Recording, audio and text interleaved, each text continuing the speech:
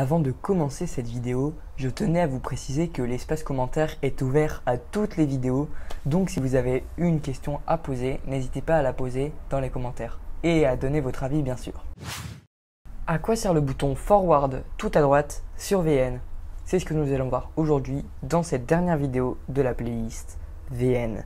Comme je l'ai dit juste avant, Forward est le bouton tout à droite de l'interface de VN. Forward sert à transférer la vidéo que vous avez choisie juste au-dessus dans la catégorie incrustation. C'est très pratique si vous vous êtes trompé de case, que vous voulez mettre par exemple une incrustation dans la catégorie vidéo principale, vous pouvez faire forward. Voilà, alors j'espère que vous avez aimé cette vidéo. Je suis désolé, les vidéos sont très très très très courtes, mais comme elles arrivent presque tous les jours, pas de problème pour ça. Est-ce que ça vous dirait des vidéos plus longues, mais qui arrivent genre euh, trois fois par semaine par exemple. Dites-moi ça dans les commentaires et on se retrouve une prochaine fois. J'espère que vous avez aimé cette playlist VN.